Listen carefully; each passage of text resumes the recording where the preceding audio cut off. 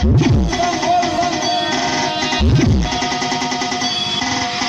you.